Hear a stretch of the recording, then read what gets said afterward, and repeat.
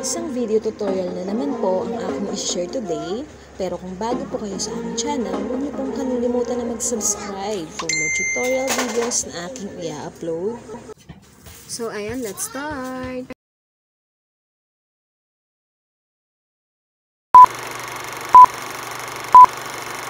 Yan ang una nating gagawin. Punta tayo sa Google Chrome at pakitype po doon ang pnpclearance.ph.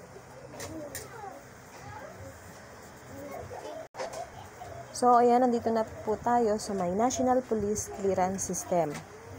So, ayan, bago po tayo makapagpa-appointment ng NBI clearance natin,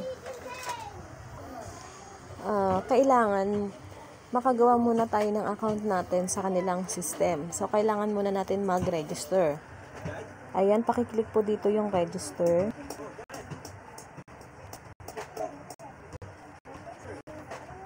May pop up dito na terms and condition. Itong mga nakabox, unang-una dito yung agreement. Pakiclick po itong agreement para magkaroon siya ng check.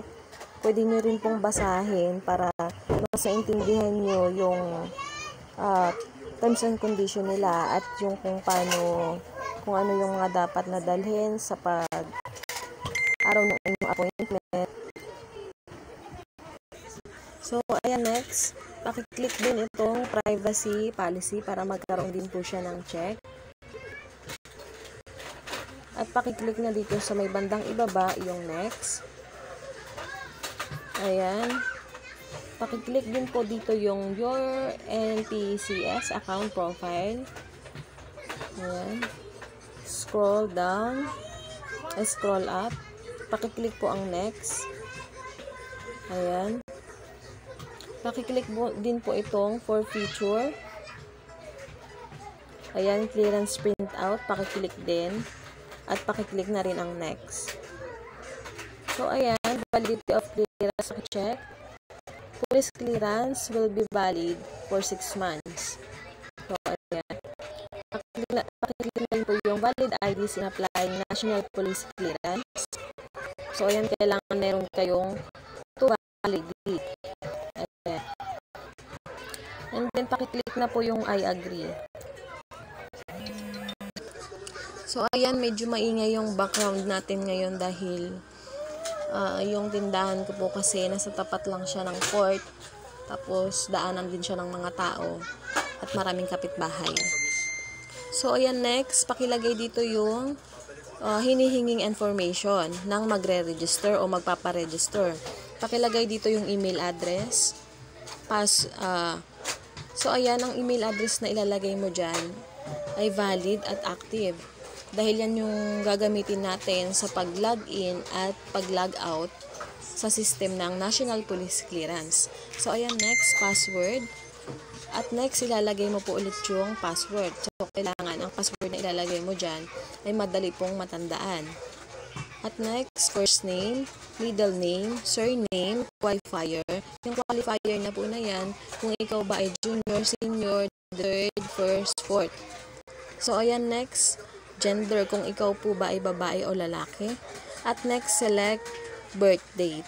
Kapag hinailagay mo na po dyan yung mga hinihinging basic information, pakiclick po yung register para mag-proceed. Ayan, may magpa-pop up po na ganito. Do you want to save it? Pakiclick po yung save. So, ayan, next. Ayan, may, magpa, may nag-pop up po na registration complete. Ayan yung kanina. So, ayan, ganyan lang po, ganun lang po kadali mag-register sa system ng uh, police clearance, ng PNP clearance. So, ayan, ang next step naman na gagawin natin, kailangan natin mag-sign in dahil meron na tayong account sa kanilang system. Pakilagay po dito yung email address at yung password. So, ayan, kapag nailagay mo na dyan yung email address at password, pakiclick na yung sign in. So, ayan, dito na tayo sa account natin. Ayan, may nakalagay po, may makikita po kayong note dito.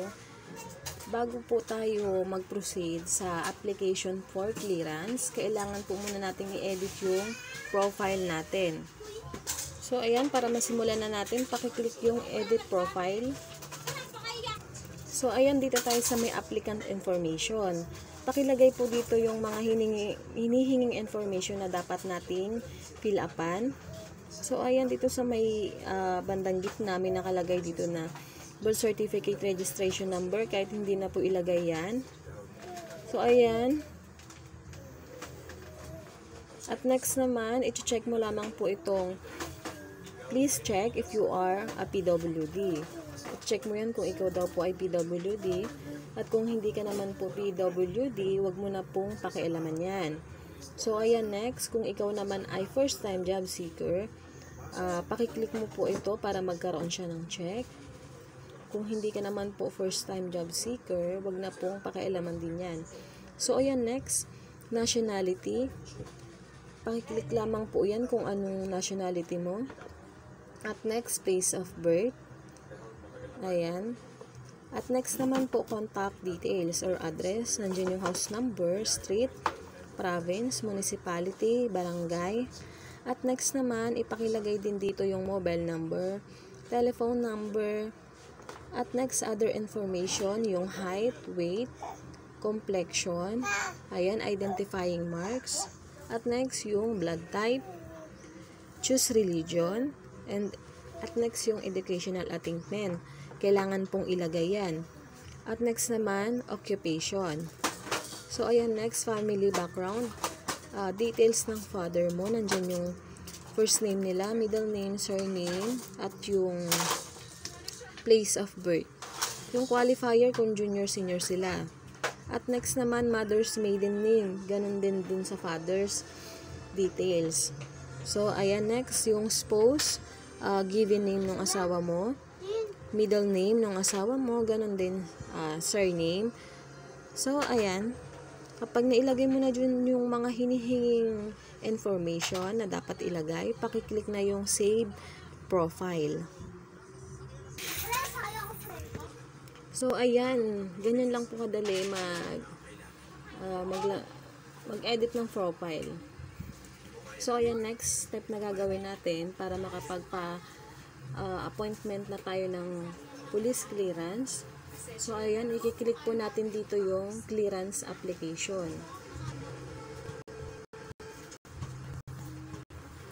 So, ayan, dito tayo sa my application clearance. Ang first step na gagawin natin, magse-select po tayo ng uh, ayan, select yung purpose. Kung saan mo pagkagamitan. Ayan, kung general or LTOPF application or COSIA. So, ayan, mamili ka lang po dyan kung alin dyan kung saan mo siya gagamitin yung police clearance. So, ayan next. Pakiclick din dito yung select police station. So, ayan kailangan kapag mamimili ka dito ng police station, police station mm, kailangan yung malapit sa lugar nyo kung saan kayo naka-address. Huwag kang magsiselect ng police station na galing pa ng Tondo, Manila kung taga-province ka naman dahil dun mo talaga pupuntahan yan. So, ayan kapag nailagay mo na dyan yung police station, kung saang police station ka magpapa-schedule, may lalabas naman ditong, ayan, to set your appointment schedule, please select, ay please click on the AM or PM button. So, ayan, may lalabas dito itong buwan ng February. Ayan, may naka, may appointment date ng February 3. So, ayan, available siya ng 3, 4, 6, 7, 8, 9, 10. So, ayan, hanggang katapusan, mayroon siyang available date. So, ayan, mamimili ka lang po dyan kung anong araw mo gusto. Ayan. At next, scroll up mo lamang. Pag nakapili ka na kung anong araw mo gustong magpa-appointment, pakiclick na po yung next. So, ayan. Next step po tayo, select payment option. Ayan. Dahil hindi makapag-select payment option dito, mamaya na lang ipapakita ko kung paano tayo magpipay, uh, papalitan natin tong land bank na yan. So, ayan. Bale, ang police clearance, 150 pesos lamang ang ating babayaran. So, ayan, pakiclick na yung next para mag-proceed na po tayo. So, ayan, ayan. Step 3 na po tayo, save appointment. Ayan, nakalagay po dyan kung saang police station tayo naka-appointment. Schedule, ayan, nakalagay din po dyan yung schedule date natin. At yung payment option, nakalagay dyan yung land bank. So, ayan, pakiclick lamang po itong save appointment.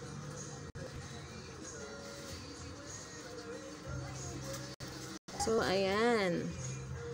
May nag-pop up na appointment successfully saved. So, ayan nakalagay dito yung notes. Pakibasa nyo na lang po dyan kung gusto nyo basahin yung mga yan. So, ayan nakalagay dito sa may bandang ibaba yung pending appointment natin na kailangan nating bayaran. So, ayan, kanina nga, gaya ng sinabi ko kanina, papalitan natin yung payment option natin.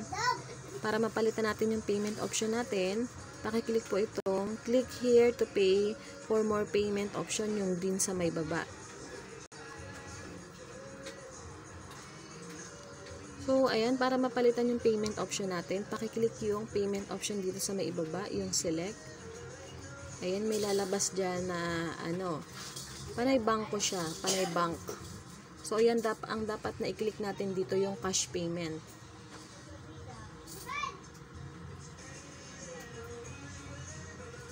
So, ayan, bali ang babayaran natin, ah, meron siyang transaction fee na 30 pesos. Bali, ang total na babayaran natin sa cash payment ay 180 pesos. So, ayan, pakiclick na po yung submit.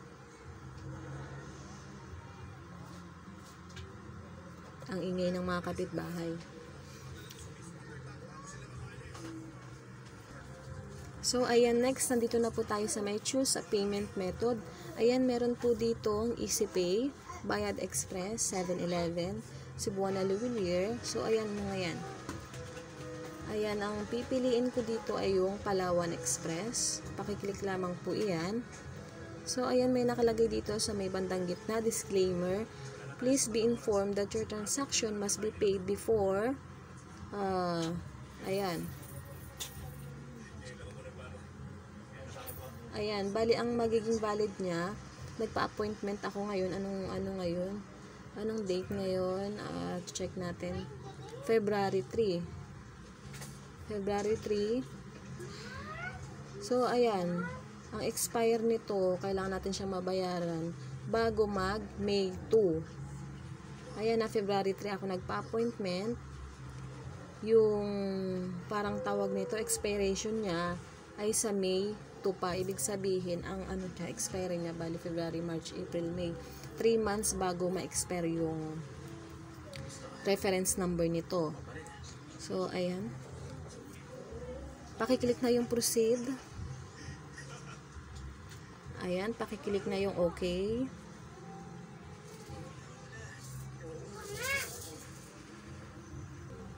So, ayan, next tayo, dito tayo sa my, your payment instruction has been sent to your email. Ayan, ito na yung payment result natin. Your transaction is pending. Ayan, nakalagay dito yung reference number. Ayan, nakalagay din dito yung ibang contact details mo at yung transaction amount, product description, bank fee.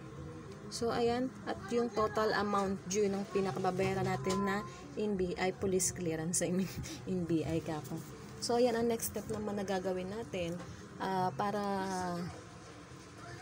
para may pinanghahawakan tayo na paper na ano nito, tawag nito, yung payment reference. So, ayan, ituturo ko din kung paano natin mapiprint yung ating uh, appointment application. So, ayan. So, ayan, babalik tayo dun sa ating account. Ayan, nandito na tayo sa ating account. Pakiclick dito yung transactions. Ayan, para ma-print natin ang ating transaction details, pakiclick po itong nasa bandang ibaba, yung print transaction details. Ayan, download.